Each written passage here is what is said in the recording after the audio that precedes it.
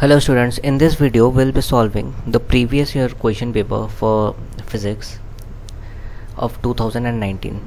So please इस video को last तक बहुत ध्यान से देखिएगा और देखिएगा क्या टेक्निक यूज़ किया गया क्वेश्चन को सॉल्व करने में। सो so, जो पहला क्वेश्चन है हमारा वो है the bob of a simple pendulum has a mass two gram तो पहले तो हम लोग पेंडुलम बना लेंगे। पेंडुलम जब भी रेस्ट पर रहेगा तो वो ऐसा रहेगा।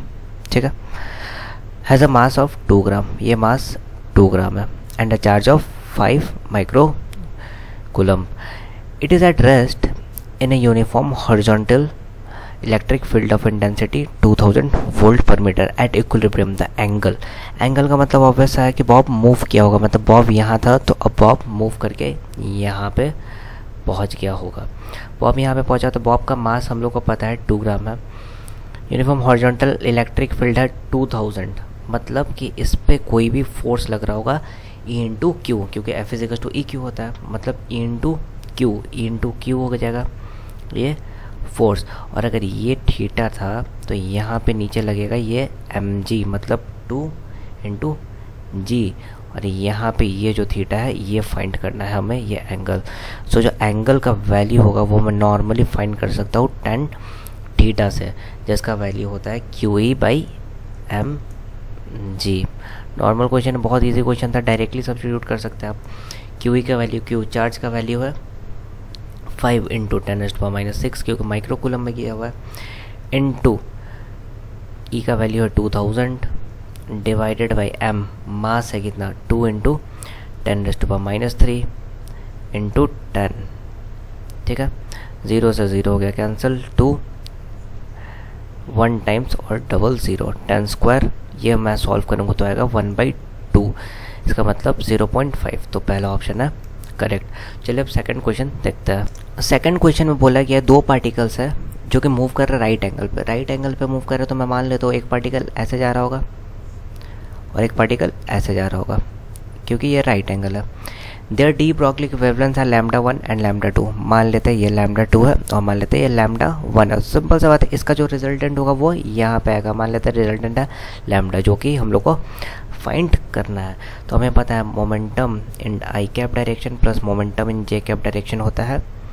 मोमेंटम के बराबर नेट मोमेंटम और मोमेंटम डी ब्रॉकली के टर्म्स में क्या हो जाएगा? H by lambda one i cap plus h by lambda two j cap equals to h by lambda और एक कंडीशन हमने पढ़ा था वेक्टर एडिशन जो कि होता है C equals to under root A square plus B square वही लगा देंगे एच तो है कॉमन तो यहाँ से हमें क्या मिल जाएगा? यहाँ से मिल जाएगा lambda one by lambda is equal to one by lambda one का square plus one by lambda two का स्क्वायर अगर हम चाहे तो यहाँ से भी ऑप्शन मैच कर सकते हैं वन बाई लैमडा टू वाला ऑप्शन ये मैच कर रहा है ऑप्शन तो option one will be the correct option fine okay जो क्वेश्चन नंबर थ्री है, वहाँ पे बोला गया a twenty henry inductor coil is connected to a ten ohm resistance ठीक है ट्वेंटी हेनरी का इंडक्टर कॉइल है और जो कि कनेक्ट किया टेन ओम रेजिस्टेंस पे.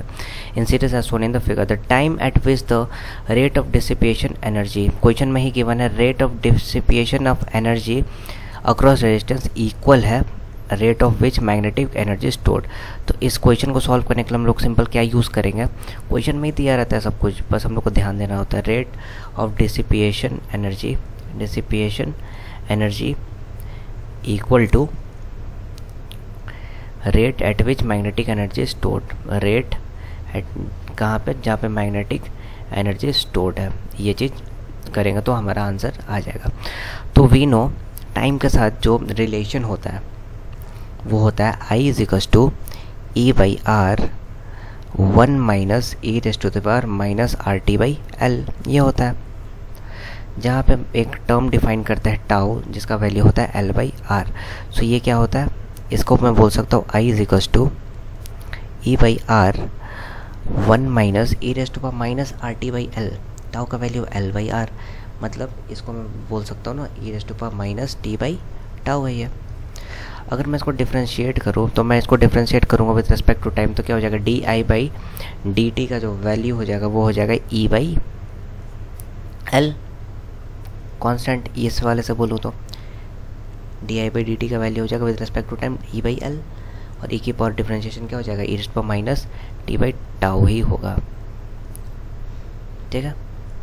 अब डिसिपिएशन एनर्जी क्या होता है? Dissipation energy dissipation radiation energy के बारे में बात करूँ मैं तो वो होगा I square R I square R जो कि बोल रहा है मैग्नेटिक एनर्जी के बराबर करने के लिए I L D I by D T के बराबर बोल रहा है कि मुझे करने के लिए। तो एक आई से तो एक आई हो गया कैंसिल यहाँ पे ऑटोमेटिकली तो ये बचा आई और आर आई का वैल्यू क्या है यहाँ पे? आई का वैल्यू हम लोग निकाल चुके हैं E by R into R हो जाएगा। और ये हो जाएगा one minus E raised power minus ये हो जाएगा one minus E raised to the power minus T by tau is equal to L E by L E raised to power minus T by tau अगर मैं इसको further solve करूँगा तो इसका value क्या आ जाएगा? ये आर टू आर कैंसिल हो गया ई रेस्ट पर यहाँ पे आ जाएगा सीधा one is equal to two E raised पर माइनस टी बाई टाउ तो अगर मैं लॉग ले लेता हूँ दोनों साइड तो मुझे क्या मिल जाएगा? मुझे मिल जाएगा log to the base ten two is equal to T by tau तो यहाँ से मैं सिंपली अगर बोलूँ सिंपली अगर बोलूँ तो टाइम का वैल्यू क्या आ जाएगा? एल एन टू मतलब T is equal to L N two आएगा। तो मैं बोल सकता हूँ ना लॉग टू के टर्म्स में है। तो यहाँ पे कौन सा ऑप्शन सही होगा? हम लोग चेक कर लेते हैं। Option two is the correct answer okay so next so let's move on to the next question okay so question number four में थोड़ा सा कंसेप्ट है। क्वेश्चन नंबर फोर बोल रहा है a thermally insulated vessel contains 150 gram of water तो मान लेते एक कोई वेसल है, जिसमें वाटर है 150 ग्राम का 150 ग्राम वाटर है। ठीक है? Water then the air from the vessel is pumped out adiabatically तो कोई एयर पम्प्ड आउट हो गया एडियाबेटिकली फिर क्या बचा हमारे पास? A fraction of water turns into ice तो कुछ पोर्शन आइस में टर्न हो गया. कुछ पोर्शन आइस में टर्न हो गया. एंड द रेस्ट एवापोरेट्स और कुछ एवापोरेट हो गया. कुछ एवापोरेट हो गया. सो so, अगर मैं मान लेता हूँ कि ये फ्रैक्शन एम आइस में टर्न हो गया तो ये पूरा का ये कितना हो जाएगा? ये हो जाएगा 150 फिफ्टी माइनस एम कुछ नहीं करना जो फेस चेंज का इक्वेशन है वो लगाते हो तो एम इंटू क्या होगा latent heat of vaporization is equals to जो बदला उसमें क्या हो जाएगा 150 फिफ्टी माइनस एम जो लेफ़्ट है, और लेटेंट हीट ऑफ़ फ्यूज़न से मल्टीप्लाई कर देंगे। सिंपल है।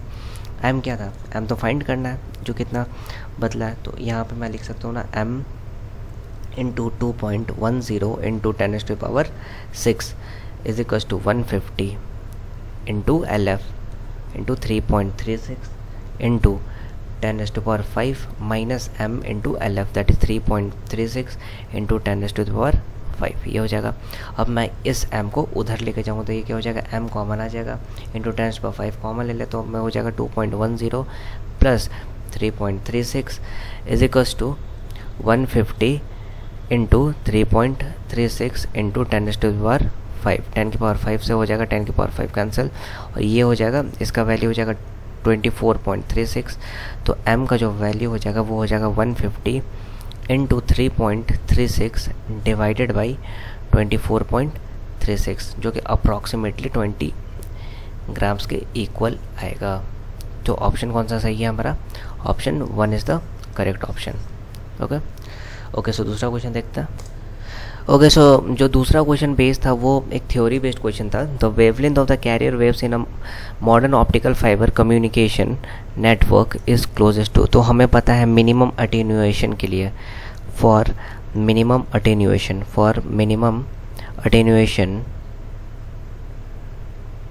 attenuation.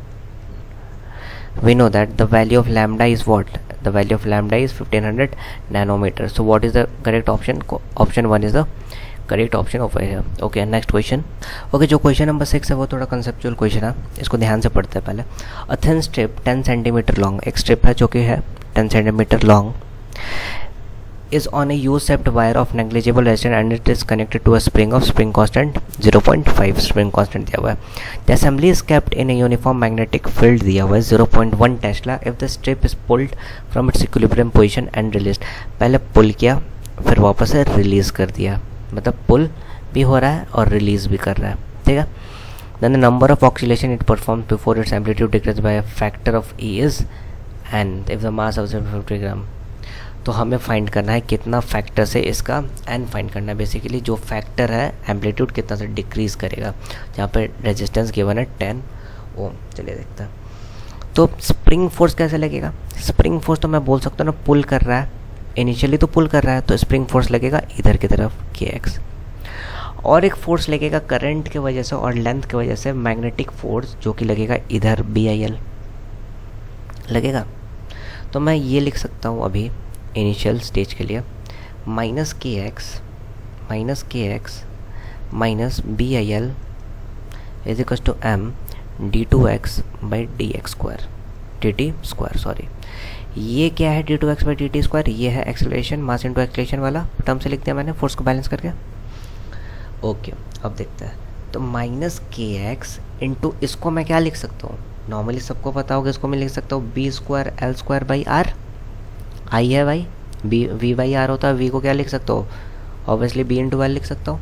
इंटू वेलोसिटी के टर्म्स में भी अगर कर दिया तो D X by D T हो जाएगा। अभी मैं बताऊँगा, मैं इस टर्म में क्यों लिख रहा हूँ मैं।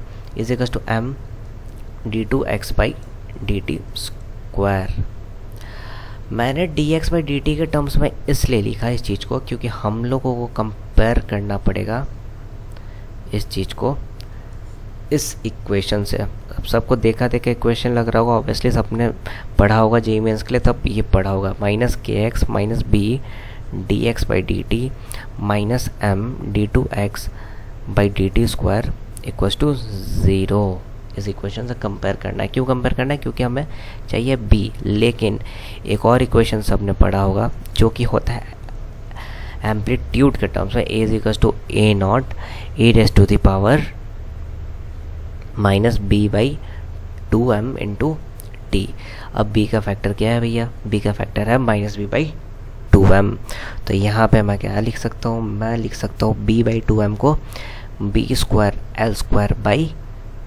two M into R into T का कोफिशेंट है वन तो अब सब्सिट्यूट कर दूँगा वैल्यू तो ये हो जाएगा ज़ीरो पॉइंट वन का स्क्वायर इंटू टेन का square by ten into two into fifty into T is to one यहाँ से सॉल्व करोगे तो यहाँ से टी का जो वैल्यू आएगा वो आएगा ten thousand seconds sorry ten thousand seconds है।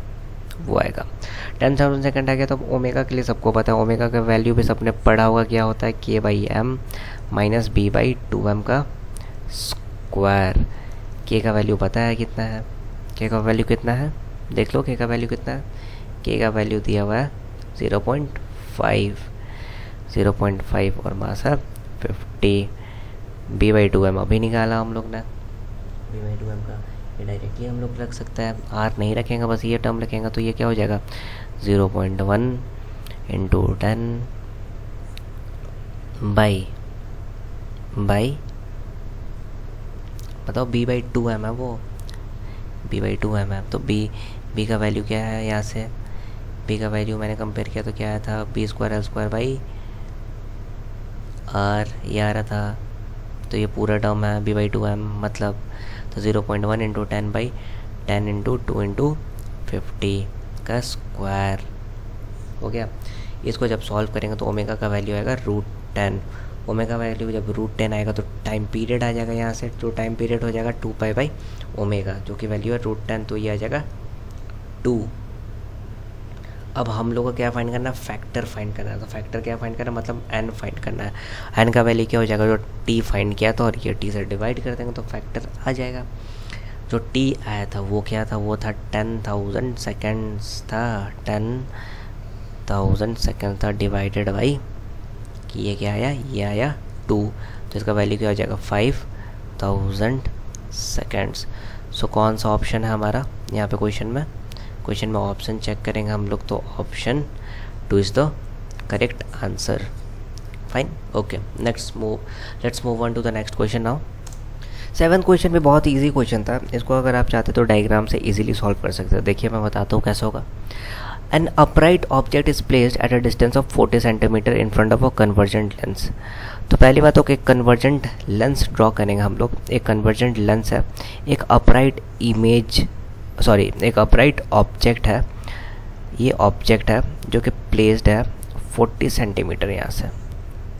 40 सेंटीमीटर पे प्लेस्ड है ये ऑब्जेक्ट और देखिए आगे a convergent mirror of focal length 10 centimetre focal length 10 centimetre का अपोजिट साइड में प्लेस्ड है यहाँ पे। फोकल लेंथ 10 सेंटीमीटर जिसका फोकल लेंथ है 10 सेंटीमीटर ठीक है? अब देखिए is place at a distance of 60 centimetre on the other side of the lens the position and size of the final image ये साठ सेंटीमीटर पे प्लेस है। तो हमें नॉर्मली पता है कि अगर रेज आएगा तो यहाँ पे जाके कोलैप्स हो जाएगा। सेम डिस्टेंस पे जाके मर्ज कर जाएगा रेस तो मैं बोल सकता हूँ ना एग्जैक्टली exactly यहाँ से भी 40 सेंटीमीटर पे इमेज बन जाएगा जो कि रियल होगा। जो कि रियल होगा। तो यहाँ 60 माइनस फोर्टी है, क्या बचा? 20 या बचा 20 सेंटीमीटर बचा 20 सेंटीमीटर तो इमेज का डिस्टेंस मिरर से कितना दूर है? इमेज का डिस्टेंस मिरर से दूर है 20 सेंटीमीटर दूर है। तो देखते हैं मिरर से कोई इमेज है 20 सेंटीमीटर और साइज़ तो सेम है। तो सेम साइज़ वाला हम लोग दो ऑप्शन है। ये ऑप्शन तो ख़त्म हो गया पहले। Same size 20 centimetre from the mirror है। 20 centimetre from the convergent mirror तो है।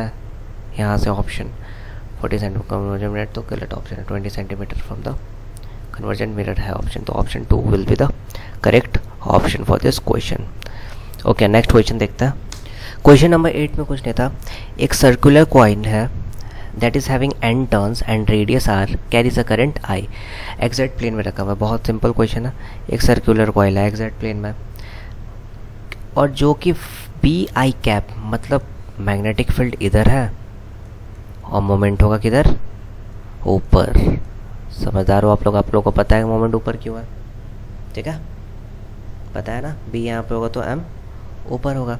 और हमें क्या फाइंड करना है? टॉर्क तो सबको पता है टॉर्क का वैल्यू मोमेंट का टर्म्स में क्या होता है? एम क्रॉस बी इसका मतलब क्या हो गया? एम बी साइन थीटा और थीटा क्या हो गया? थीटा हो गया 90 डिग्री साइन 90 का वैल्यू क्या हो जाएगा? वन के बराबर मतलब एम बी अब एम क्या हो जाएगा? एम का वैल्यू होगा मोमेंट का वैल्यू क्या हो जाएगा? Number of turns into current into pi R square यहाँ पे सर्कुलर के लिए। तो जो टॉर्क हो जाएगा, वो क्या हो जाएगा? टॉर्क हो जाएगा, वो क्या हो जाएगा? वो हो जाएगा N I pi R square B ये हो जाएगा टॉर्क तो कौन सा ऑप्शन मैच कर रहा है? ऑप्शन जो मैच कर रहा है, वो है option four okay so now let's move on to the next question okay sir इस क्वेश्चन को पहले हम लोग रीड करते हैं। ये रे ऑप्टिक्स का क्वेश्चन था। कुछ नहीं यूज़ करना था, बस mu one sine one equal to mu mu two sine r use करना था, हो जाता। ठीक है? In figure the optical fibre length is two metre optical fibre का जो लेंथ है, वो है two metre and the diameter of twenty mu m diameter है twenty mu m if ray of light if ray of light of incident on one end of the fibre एक and पे 40 degree पे ray of light in the number of reflection it would make number of reflection मतलब N find करना है कि क्या होगा। देखते हैं कैसे होगा। सिंपल से बात एक स्नेल्स लॉ यूज़ करते हैं हम लोग। Mu one sine i is equal to mu two sine r तो म्यू वन एयर का है मतलब वन साइन आई क्या हो जाएगा? साइन फोर्टी हो जाएगा। और म्यू टू क्या हो जाएगा? ग्लास का होगा मतलब one point three one sine r अगर मैं यहाँ से आर का वैल्यू निकालूँ तो यहाँ से हो जाएगा साइन आर का जो वैल्यू हो जाएगा, वो हो जाएगा क्या हो वो? साइन फोर्टी का वैल्यू हो जाएगा zero point six four by one point three one ये अप्रॉक्सीमेटली हो जाएगा, ये अप्रॉक्सीमेटली हो जाएगा ज़ीरो पॉइंट फाइव के बराबर, जो कि हो सकता है वन बाई टू मतलब थर्टी डिग्रीज ये थर्टी डिग्रीज है मतलब अगर नाइन्टी माइनस थीटा में निकालो तो नाइन्टी माइनस थीटा का वैल्यू हो जाएगा ninety minus thirty that is sixty degree तो मैं देख सकता हूँ, एक फोर्टी है, एक सिक्सटी है. दैट इज़ मैं बोल सकता हूँ theta is greater than the critical angle that means what that means total internal reflection will occur will occur अगर टोटल इंटरनल रिफ्लेक्शन अकर होगा तो मैं डायरेक्टली यूज़ कर सकता हूँ ना टेन थीटा इसका ट्वेंटी म्यू एम दिया हुआ था, और मुझे फाइंड करना है वो बेस एक्स तो यहाँ से एक्स का वैल्यू क्या हो जाएगा? टेन सिक्सटी रूट थ्री मतलब एक्स का वैल्यू हो जाएगा twenty root three mu m micrometre अब इजीली मुझे नंबर ऑफ़ रिफ्रैक्शंस कितना करोगा? वो फाइंड हो जाएगा, वो कैसे फाइंड होगा? लेंथ होगा टू एम डिवाइडेड बाई ये जो बेस है, ये क्या हो जाएगा? Twenty root three mu into m तो ये क्या हो जाएगा? Mu m ten minus six होता है इसका वैल्यू ये ऊपर जाएगा टू टेन टाइम्स हो जाएगा मतलब टेन पर फाइव बाई रूट थ्री जिसका मतलब हो गया five seven eight zero three इसके अप्रॉक्स आंसर क्या हो जाएगा? फाइव सेवन डबल ज़ीरो देखते हैं कौन सा आंसर मैच कर रहा है। Option three is the correct answer okay so let's move on to the next question okay so ये क्वेश्चन ध्यान से पहले पढ़ेगा। थोड़ा इंटरेस्टिंग क्वेश्चन है। अ boys catapult catapult is made of rubber cord, which is 42 centimetre long तो मैं normally बना लेता हूँ, ऐसा होता है, कुछ। ये नॉर्मल जो लेंथ है नॉर्मल लेंथ है, वो 42 सेंटीमीटर लॉन्ग है। ठीक है? With six m m diameter of cross section and of negligible mass the boy keeps a stone stone है, जिसका वेट है zero point zero two k gs on it and stretches the cord by 20 centimetre और stretch किया cord को 20 centimetre मतलब delta L तुम बोल सकते हो कि 20 सेंटीमीटर से स्ट्रेच किया कॉर्ड को। By applying a constant force when release the stone flies off with a velocity जब रिलीज़ किया तो स्टोन फ्लाई कर दिया वेलोसिटी 20 मीटर पर सेकेंड से। Neglect the change in area of cross section of the cord while stretched area of cross section neglect कर सकते हैं हम लोग। जब स्ट्रेच हुआ the young's modulus of the rubber is simple सा बात है यंग्स मॉड्यूलस चेंज होगा क्या? काइनेटिक एनर्जी में young's modulus change in stress और स्ट्रेन वाला फॉर्मूला क्या होता है?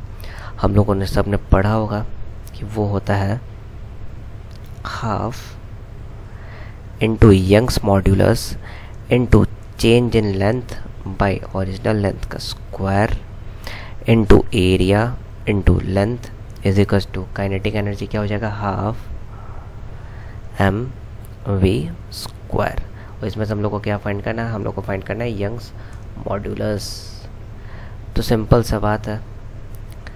मैं इस हाफ़ से इस हाफ़ को तो कर देता हूँ, अभी ही कैंसिल ताकि कैलकुलेशन में इजी हो जाए। तो y into delta l by l मतलब zero point two by zero point four two का स्क्वायर ठीक है? इंटू एरिया क्या हो जाएगा? एरिया हो जाएगा pi by four d square d diameter पता है हम लोग को क्या दिया हुआ है? सिक्स एम एम है। और एक बात, हम लोग को जब भी क्वेश्चन पूछा कि we need to find what closest to क्या होगा? तो क्लोजेस्ट टू पावर ठीक है? अब पहले सॉल्व करते हैं हम लोग, देखते क्या आता है। Pi by four d square d का वैल्यू सिक्स एम एम है मतलब six into ten s to power minus three मैं बोल सकता हूँ, का स्क्वायर ठीक है? इंटू एल एल का वैल्यू क्या हो जाएगा? एल का वैल्यू हो जाएगा ज़ीरो पॉइंट फोर टू और एम हो जाएगा zero point zero two k g m v square v for twenty centimetre is twenty sorry twenty metre per second that is twenty fine okay अब देखते हैं। तो ये तो 0.42 से एक 0.42 मैंने बोला कि कैंसिल हो गया। मतलब सिर्फ़ 0.2 का स्क्वायर बचा। और ये सिक्स सिक्स थर्टी सिक्स मैं इसको क्या बोल सकता हूँ? इसको मैं बोल सकता हूँ, ये हो जाएगा pi by four into six six thirty six into ten s to power minus six मतलब फोर नाइन टाइम्स ये हो जाएगा। ये पूरा सॉल्व हो गया ये। तो मैं लिख सकता हूँ ना यहाँ पे जो जो वैल्यू हो जाएगा, ये हो जाएगा y into zero point two का square y into zero point two का square divided by zero point four two into ये हो जाएगा नाइन इंटू टेन एस्ट पर minus six pi is equal to zero point zero two into twenty ये मैं बोल सकता हूँ। अगर मैं यंग्स मॉड्यूलस का सॉल्व करूँ यहाँ से तो वो हो जाएगा zero point zero two into twenty into zero point four two divided by zero point two का square into nine into ten एस्ट power minus six two pi तो इस टोटल चीज़ को अगर तुम सॉल्व करोगे तो वो जो वैल्यू आएगा, वो अप्रॉक्सीमेटली आएगा ten एस्ट power six newton per metre square के बराबर, जो कि हमारा है ऑप्शन वन ठीक है? Okay so now let's move on to the next question okay इस क्वेश्चन में बोला गया a solid conducting sphere having a charge q q charge is surrounded by an uncharged conducting hollow spherical shell तो पहले मैं बना लेता हूँ इनिशियल कंडीशन इनिशियल कंडीशन मैं बना लेता हूँ। इनिशियल कंडीशन क्या है? एक स्पेयर है। और उसके अंदर भी एक स्पेयर है ऐसा। The potential difference between the surface of the solid sphere and that of the outer uh, surface of the hollow, hollow cell be V. If the cell is now given a charge of minus four the new potential. अच्छा तो initial और final position के बीच में मुझे देखना है कि potential change कितना हो रहा है। तो मान लेता हूँ मैं यहाँ से यहाँ रेडियस है बी स्पेयर से स्पेयर तक का। और मैं इसका रेडियस मान लेता हूँ कितना? इसका रेडियस मान लेता हूँ ए ठीक है? ये मान लेता हूँ मैं स्पेयर ए है, ये स्पेयर बी है। मान लो तो ये चार्ज क्यू है तो यहाँ पे ये चार्ज है माइनस क्यू और यहाँ पे इनिशियली क्यू ही है। तो अगर मैं बोलूँ पोटेंशियल ऑफ़ ए तो इलेक्ट्रोस्टैट्स में हम लोग ने पढ़ा था क्या हो जाएगा? के क्यू बाई ए प्लस और क्या हो जाएगा? K minus q plus q minus q plus q by b ये हो जाएगा। और पोटेंशियल ऑफ़ बी अगर मैं बोलूँ पोटेंशियल ऑफ़ बी बोलूँ तो क्या हो जाएगा के क्यू बाई बी अब इसके लिए। प्लस के वही रह जाएगा ये सी ए सेम रह जाएगा। चेंज नहीं होगा। तो अगर मैं इन दोनों का डिफरेंस देखूँ इनिशियल में तो क्या हो जाएगा, ये भी वी आएगा। अब अगर मैं फाइनल कंडीशन के लिए जाऊँ, मैं अगर फाइनल कंडीशन में जाऊँ, जो कि बोला गया, बाद में क्या हो गया? ये वही है। ये तो बी है, यहाँ से। ये स्पेयर ए है, ये स्पेयर बी है। चार्ज क्यू था, यहाँ पे माइनस क्यू था, लेकिन बाद में क्या बोला गया कि माइनस फोर क्यू दे दिया गया इसको। माइनस फोर क्यू दे दिया गया। तो क्या होगा? यहाँ पे हो जाएगा। यहाँ पे क्या होगा? वी ए का जो वैल्यू होगा, वो होगा k q by a minus k four q by b और वी बी का वैल्यू क्या हो जाएगा? वी बी हो जाएगा k q by k q by b minus k four q by b अगर मैं इन दोनों का भी डिफरेंस देखूँ तो वी ही आएगा। So which is our correct answer the correct option is v that is option four okay so now let's move on to the next question okay अब दूसरा क्वेश्चन में क्या बोला गया? दूसरा क्वेश्चन में बोला गया wire of length twelve is made by joining two wires a and b a and b को दो वायर को ज्वाइन किया गया of same length but different radii r and two r है made up of same material it is vibrating at a frequency such that the joint of the two wires forms a node इन दोनों wire का joint क्या form करेगा एक node form करेगा the number of anti nodes in wire A, A is P and that in B is Q then the ratio P by Q find करना है ठीक है रेशियो फाइंड करना है P by Q ए में note है P और B में है कितना? क्यू ए इसका रेशियो फाइंड करना है पी एस टू क्यू का। बहुत ईजी है। हमने पढ़ा था wire connected at one end and wire is connected at both ends वाला फॉर्मूला लगाएँगे। तो फंडामेंटल फ्रिक्वेंसी अगर मैं इसको बोलूँ तो क्या हो जाएगा? N by twelve under root t by rho है, एक के लिए फ़र्स्ट के लिए। और अगर मैं दूसरे के लिए बोलूँ तो क्या हो जाएगा? सीधा तुम कहोगे सर वो हो जाएगा f two is x two q by twelve लेकिन यहाँ पे क्या हो जाएगा? T by rho four into a area क्या हो जाएगा? रेडियस क्या हो रहा है? रेडियस एक का आर है, एक का टू आर है तो एरिया क्या हो जाएगा? एक ए हो जाएगा, एक हो जाएगा फोर ए सिंपल सा बात है f one is equal to f two कर दूँगा क्योंकि वायर हो गया जॉइंट तो यहाँ से क्या हो जाएगा? मुझे मिल जाएगा f one by f two का वैल्यू मिल जाएगा p by q into two जिसका वैल्यू हो जाएगा p by q is equal to one is to two तो which is the correct option correct option is one is to two option one okay दूसरा question देखता है। Okay okay, जो दूसरा question था उसमें कुछ नहीं करना था। नॉर्मल फार्मूला यूज़ करना था। हम लोग को सेंटर ऑफ़ मास का और क्वेश्चन को सॉल्व कर लेना था। डायरेक्ट क्वेश्चन था ये। दिखाता हूँ मैं क्या हो कैसे होगा। Four particles a b c and d with masses m a m masses जो दिया हुआ वो क्या है? एम है। टू एम है थ्री एम है और फोर एम है. Are at the corners of a square are at corners of squares ठीक है? They have acceleration of equal magnitude with direction as shown the acceleration of centre of mass मैंने बोला था centre of मास से solve हो जाएगा तो देख लीजिए कैसे होगा. सेंटर ऑफ़ मास का जब भी एक्सलेशन हम लोग फाइंड करने तो ए सी एम का जो वैल्यू होता है, वो होता है summation summation m a m i a i divided by summation m इसका मतलब यहाँ से हो जाएगा, क्या हो जाएगा यहाँ से? एम एक हो जाएगा माइनस ए क्योंकि एक इधर है, इधर को हम पॉजिटिव मानो, इधर को माइनस मानो तो minus A I cap plus दूसरा मास है two M A J cap plus तीसरा मास है three M A I cap plus four M minus A J cap अब मास का सम अगर मैं कर दूँ तो हो जाएगा M plus two M plus three M plus four M इसका वैल्यू क्या हो जाएगा?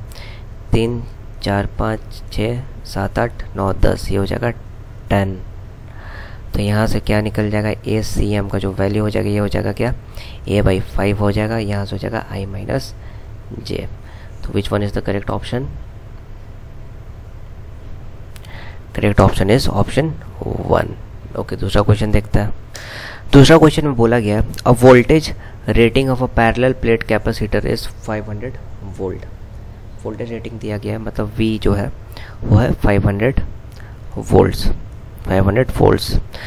Its dielectric can withstand a maximum electric field of 10 to power 6 dielectric भी है, जिसका 10 to power 6 electric field maximum withstand कर सकता है. The plate area is area of plate भी ये गिवन है टेन पर minus four metre square what is the dielectric constant if मतलब डाइलेक्ट्रिक कांस्टेंट मतलब के फाइंड करना if the capacitance is 15 pico farad capacitance क्या है?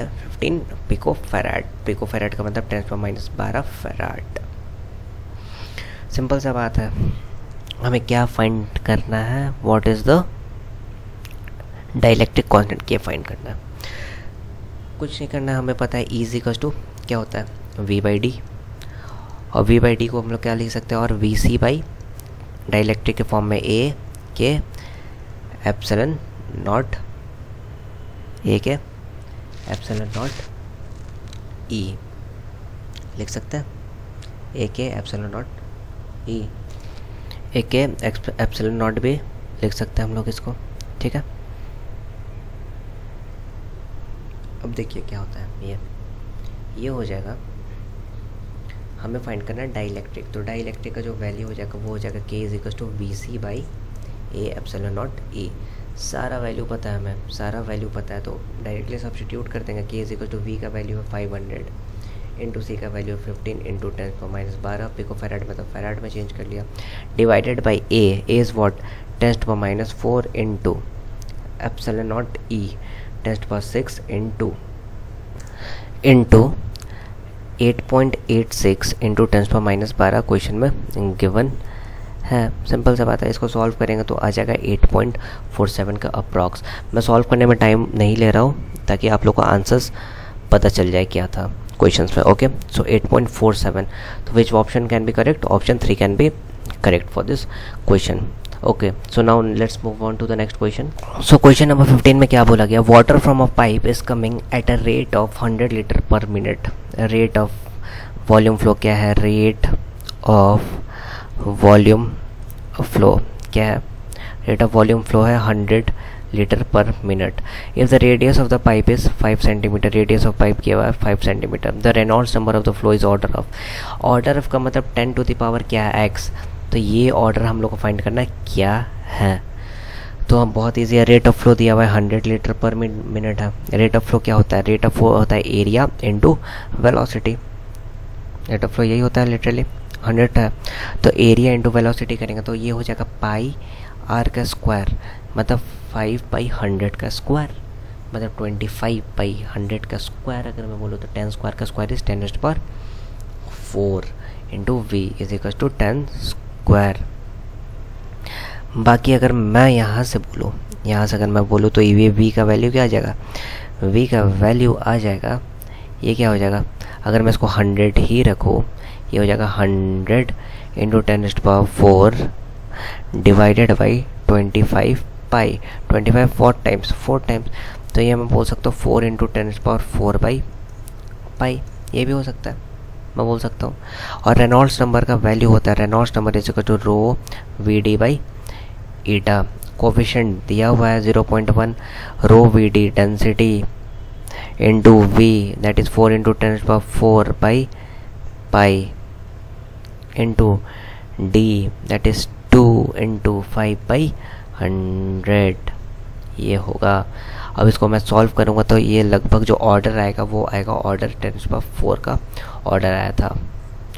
तो इसका मतलब option which is the correct option option two is the correct option question number sixteen में बोला गया है the reverse breakdown voltage of a Zener diode is 5.6 volt in the given circuit the current through I Z through the Zener is तो reverse voltage Zener diode में दिया हुआ है V Z का value five point six volt इसका मतलब अगर मैं बोलूँ I two primary sorry secondary current अगर मैं बोलूँ तो वो क्या हो जाएगा? वो हो जाएगा V Z by eight hundred R तो ये हो जाएगा five point six by eight hundred इसका वैल्यू आएगा लगभग सेवन मिली एम्पेयर और अगर मैं बोलूँ v अक्रॉस 200 इसके अक्रॉस अगर मैं v बोलूँ, v अगर इसके अक्रॉस मैं बोलूँ तो हो जाएगा डेल्टा v अक्रॉस 200 ओम्स ये हो जाएगा 9 minus five point six nine minus five point six क्यों? क्योंकि फाइव पॉइंट सिक्स तो इस पे था वोल्ट फाइव पॉइंट सिक्स तो ये माइनस ये करेंगे तो आ जाएगा तो इसका वैल्यू क्या हो जाएगा? ये हो जाएगा थ्री पॉइंट फोर वोल्ट और अगर मुझे प्राइमरी करंट निकालना आई वन ये क्या हो जाएगा? ये हो जाएगा क्रॉस जिसका क्रॉस लिया था three point four by two hundred मतलब सत्रह मिली एम्पेयर के बराबर. तो आई वन का जो वैल्यू होता है वी नो आई वन का वैल्यू क्या हो जाएगा? I one is equal to secondary current plus I Z Zener के अक्रॉस इज़ इक्वल टू क्या हो जाएगा? I two plus seventeen M और अगर मुझे फाइंड करना है, क्या फाइंड करना है मुझे? मुझे फाइंड करना है आई टू तो ये क्या हो जाएगा? सेवनटीन एम ए माइनस सात एम ए जो कि वैल्यू हो जाएगा टेन मिली एम्पेयर ठीक है? तो ten milli ampere is the correct option option C इस क्वेश्चन में क्या बोला गया है? If ten raised power twenty two gas molecules ten raised power twenty two मतलब एन दिया हुआ है ten raised power twenty two gas molecules each of mass mass भी दिया हुआ है ten raised power minus 26 kg collide with a surface perpendicular to it elastically per second over an area area दिया हुआ है what is the area given 1 meter square area is 1 meter square with a speed speed दिया हुआ है 10 to the power 4 meter per second and the pressure pressure हमें पता है क्या होता है pressure होता है force per unit area ये होता है pressure force per unit area लेकिन हमें पता रहना चाहिए क्या। अब इसके लिए हम लोग क्या फाइंड करेंगे? इसके लिए हम लोग फाइंड आउट करेंगे। और यहाँ पे हमें पता है क्या? एरिया का value one metre per square है। सॉरी वन मीटर स्क्वायर है। तो ये क्या हो जाएगा? यहाँ से मुझे पता चला प्रेशर तो हो गया फोर्स के बराबर। अब फोर्स निकालना है मॉलिक्यूल्स में। तो ये क्या हो जाएगा? तो delta P momentum change in momentum is what is force जिसका वैल्यू होता है टू एम एन वी तो इसका वैल्यू क्या हो जाएगा? टू इंटू टेन की power twenty two into ten raise to power minus twenty six into ten की पावर फोर इसका वैल्यू हो जाएगा टू तो which option is correct so option कोई मैच नहीं कर रहा है there it is a bonus question it is a bonus question चलो नेक्स्ट क्वेश्चन देखते हैं. दूसरा क्वेश्चन क्या कह रहा है? In an interference experiment, the ratio of amplitudes of co- coherent wave is ratio of amplitude wave का दिया हुआ a1 by a2 equals to 1 by 3 the ratio of maximum and minimum intensity मतलब I max to आई मिन find करना है हमें basically of fringes कुछ नहीं करना नॉर्मल इक्वेशन हमें पता है आई मैक्स और आई मिन का क्या होता है। बस उसको यूज़ करके हम लोग आंसर निकाल देंगे आई मैक्स का वैल्यू होता है under root I one plus under root plus under root I two का whole square divided by under root I one plus sorry minus under root I two का whole square और I one amplitude के terms में लिखूँ तो ये दिया हुआ है वन इज़ टू थ्री मतलब three A one is equal to A two इसका मतलब क्या हो जाएगा? A two is equal two three A one और इंटेंसिटी को एम्पलीट्यूड के फॉर्म में लिखूँ तो क्या हो जाएगा? रूट हट जाता है तो A one plus three A one हो जाएगा I two divided by A one minus three A one का होल स्क्वायर अगर मैं इसको देखूँ तो इसका जो वैल्यू आएगा, वो आ जाएगा फोर इज़ टू वन के बराबर. So which option is correct कौन सा ऑप्शन करेक्ट है? Four is two one option two is the right answer चलो, दूसरा क्वेश्चन देखते हैं. दूसरा क्वेश्चन यूनिट्स पे हमें डायमेंशन फाइंड करना है. किसका डायमेंशन फाइंड करना है? Epsilon naught by mu naught का। तो सिंपल सा बात है, अगर इस epsilon naught by mu naught को मैं मल्टीप्लाई एंड डिवाइड कर दूँ एप्सलन नॉट से तो कोई चेंजेस तो आएगा नहीं। अकॉर्डिंग टू मैथमेटिकल इंडक्शन तो मैं मल्टीप्लाई एंड डिवाइड कर देता हूँ एप्सलन नॉट से। तो यहाँ पे हो जाएगा एप्सलन नॉट का square divided by mu naught epsilon naught एक एप्सलन नॉट से एक एप्सलन नॉट हो जाएगा। कैंसिल तो फिर भी बात तो वही पड़ जाएगा। लेकिन म्यू नॉट और एप्सलन नॉट का वैल्यू क्या हो जाएगा? ये हो जाएगा C one by mu naught epsilon naught हो जाएगा सी और ये एप्सलन नॉट का स्क्वायर एप्सलन नॉट बाहर निकल जाएगा और ये हो जाएगा सी के बराबर। तो एप्सलन नॉट का डायमेंशंस क्या होता है? वो होता है एम इनवर्स ये डायमेंशन हमें याद रहना चाहिए। एल रेस्ट हुआ माइनस थ्री टी रेस्ट हुआ फोर ए स्क्वायर और सी का डायमेंशन क्या होता है? सी का डायमेंशन होता है एल टी इनवर्स समझ में आ बात? ये हो गया एप्सिलॉन नॉट का डायमेंशन ये हो गया सी का डायमेंशन अगर मैं इसको कंबाइंड लिखूँ तो क्या मिल जाएगा हमें? हमें मिल जाएगा एम माइनस वन और मिल जाएगा L minus two T three A square कौन सा ऑप्शन सही है? M minus one L minus two T three A square option four is the correct option चलो, दूसरा क्वेश्चन देखते हैं। इस क्वेश्चन में बोला गया है, चार आइडेंटिकल पार्टिकल्स है, जो कि है मास एम के। और लोकेटेड है कॉर्नर्स पे। ये आइडेंटिकल पार्टिकल्स कॉर्नर्स पे लोकेटेड है। मतलब यहाँ एम होगा, यहाँ एम होगा, यहाँ एम होगा, यहाँ भी एम होगा। Of square of side A सारा साइड है ए मैं अगर इन दोनों को ज्वाइन कर दूँ इसको।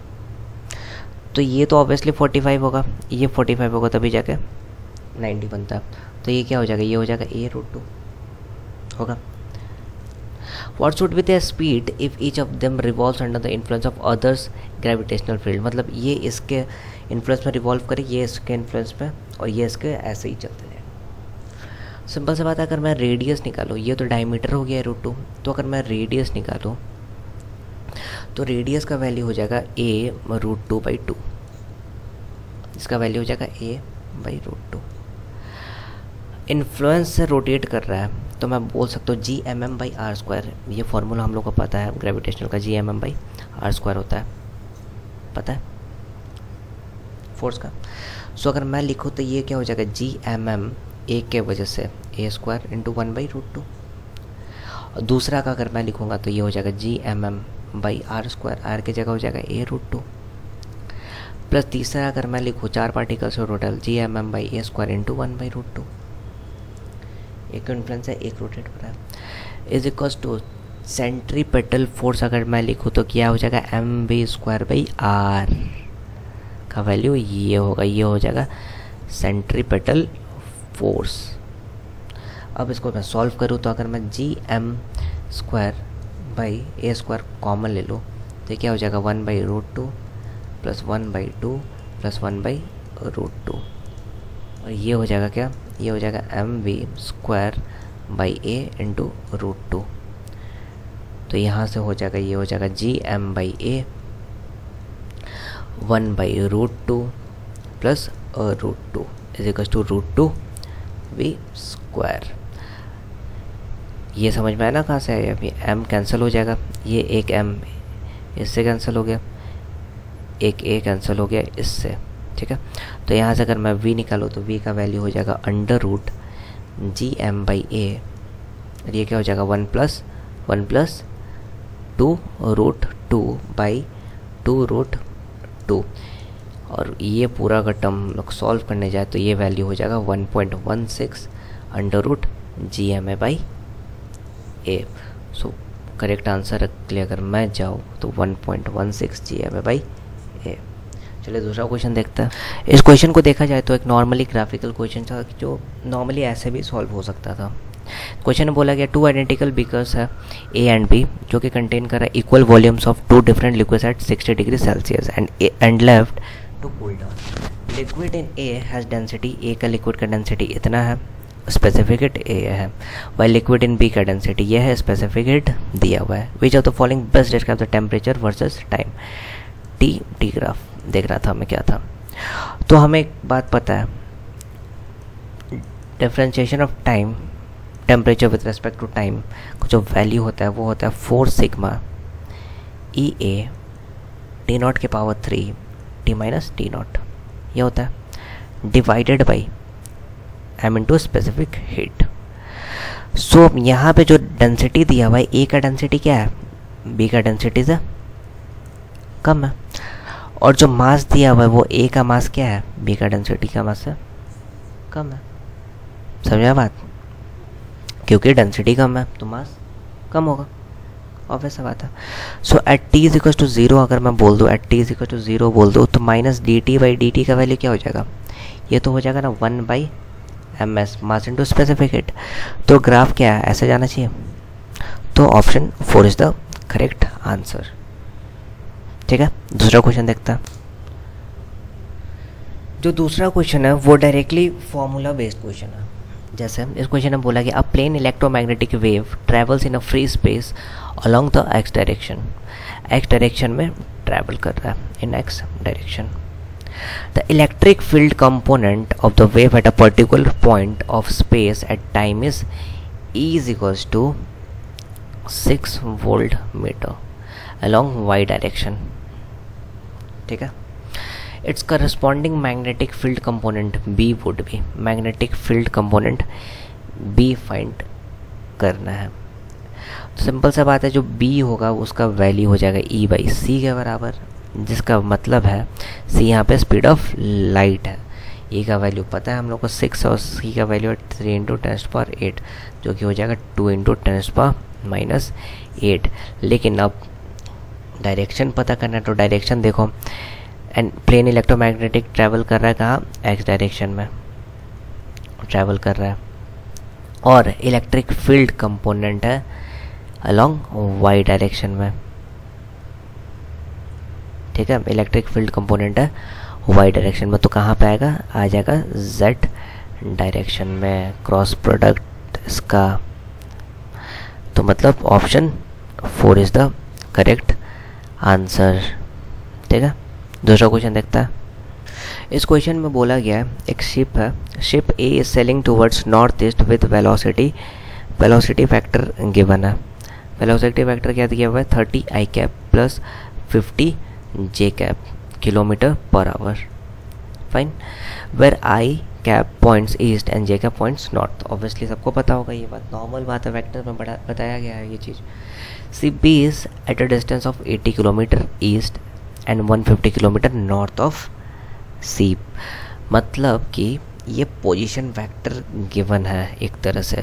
80 किलोमीटर ईस्ट का मतलब 80 आई कैप और 150 kilometre north of ship A मतलब नॉर्थ ऑफ़ सिप है मतलब 150 जे कैप। ठीक है?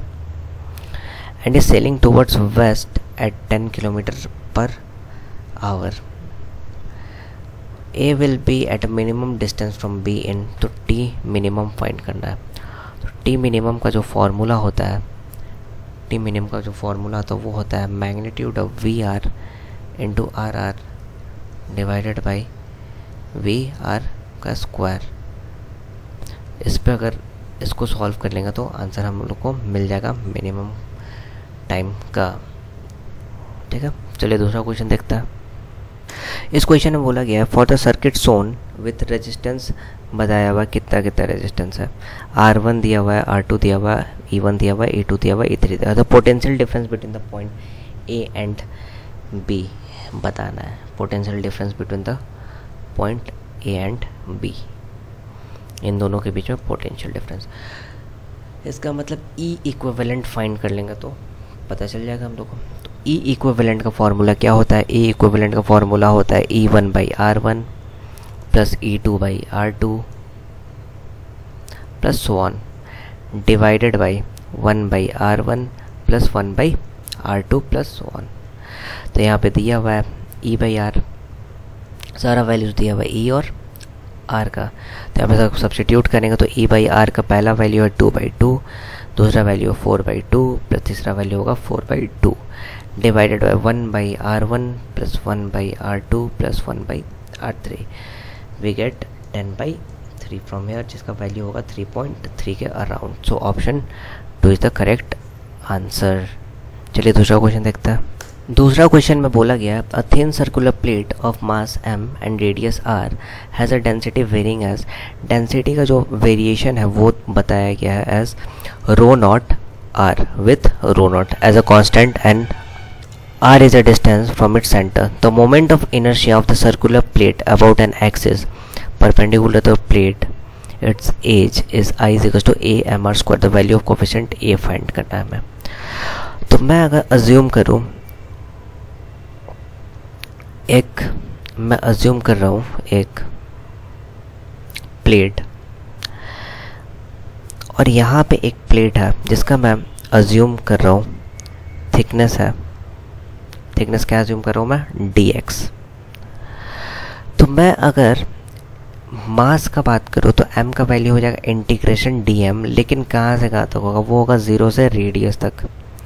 और क्या होगा? रो नॉट आर के टर्म्स में लेकिन हो जाएगा two pi R D R clear है इसको अगर मैं इंटीग्रेट करूँ तो मुझे मिलेगा rho naught two pi R cube by three no doubt और अगर मैं मोमेंट ऑफ़ इनर्शिया का यहाँ से बात करूँ तो वो हो जाएगा D I parallel axis theorem से D M X square plus D M R square ये हो जाएगा। तो यहाँ से क्या हो जाएगा? यहाँ से अगर मैं डी एम का बात करूँ तो वो हो जाएगा sigma two pi X D X surface area density surface density और यहाँ से अगर मैं डी एम का बात करूँ तो वो मैं बोल सकता हूँ ना rho naught X two pi X D X या तो मैं इसको बोल सकता हूँ rho naught two pi X square D X ये बोल सकता हूँ।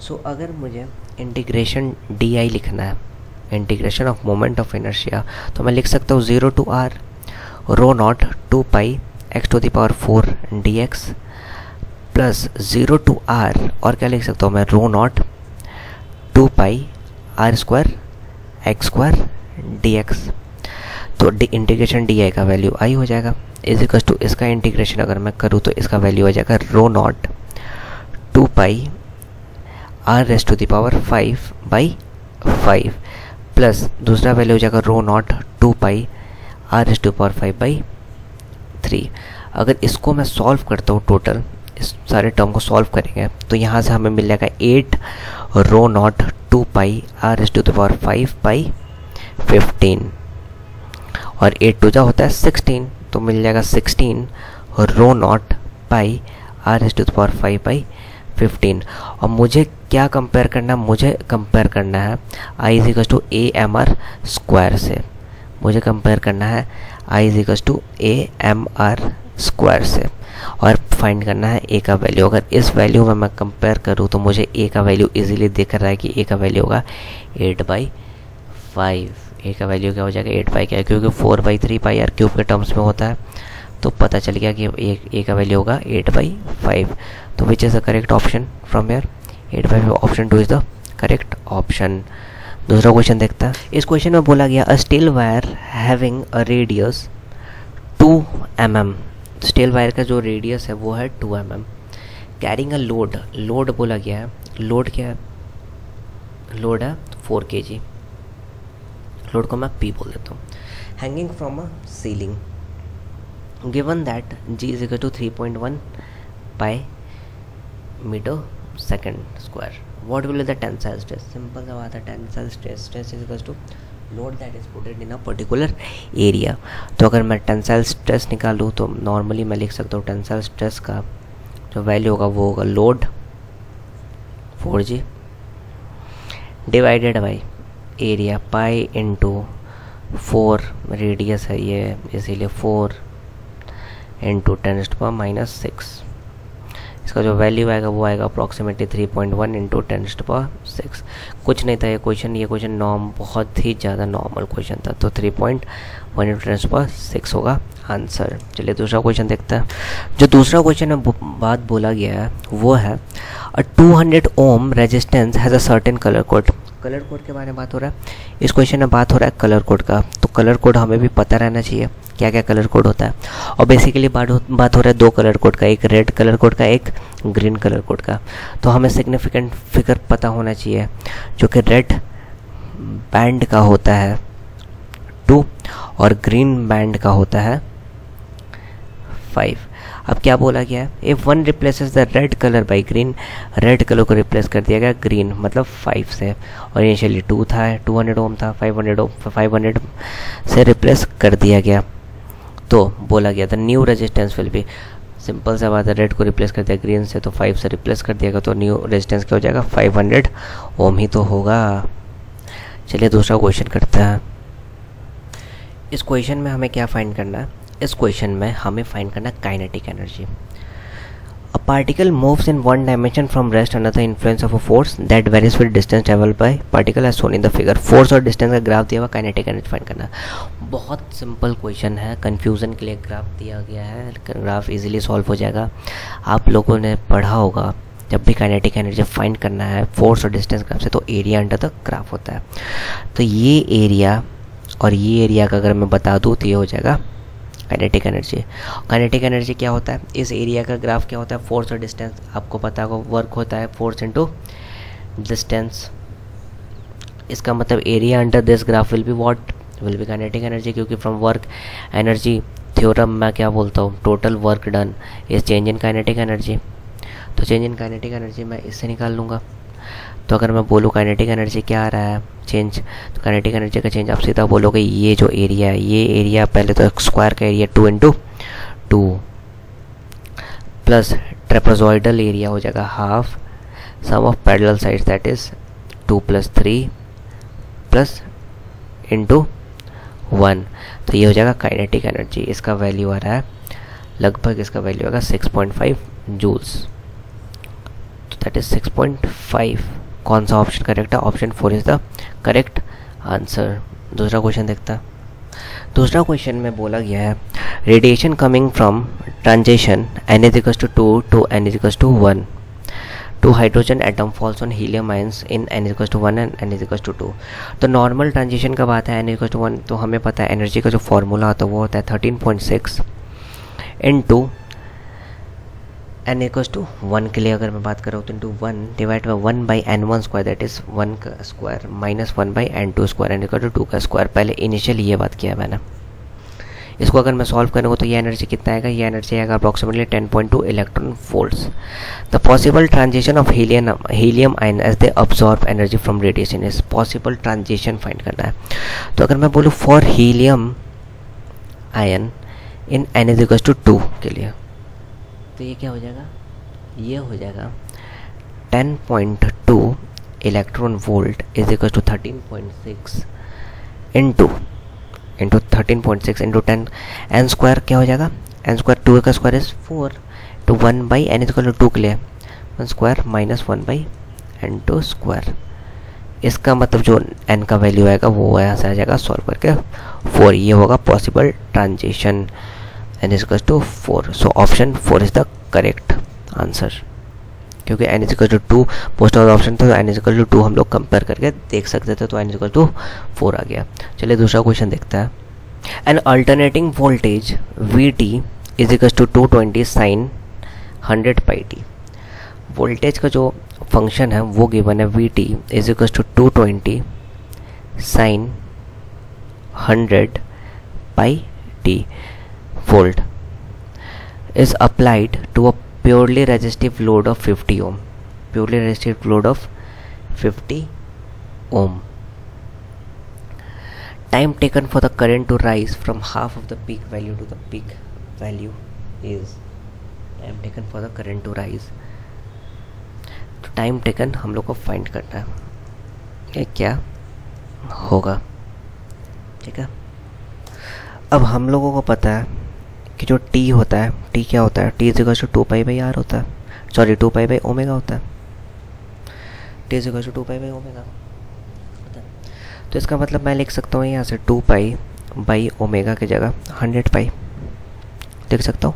Two pi by hundred pi इसका मतलब ये हो जाएगा वन बाई फिफ्टी सेकेंड्स अगर मुझे time taken to rise rise time find करना है तो राइज टाइम सिंपल सा बात है, डेल्टा टी का जो वैल्यू होगा वो होगा टी बाई सिक्स के बराबर। तो मतलब one by fifty into six.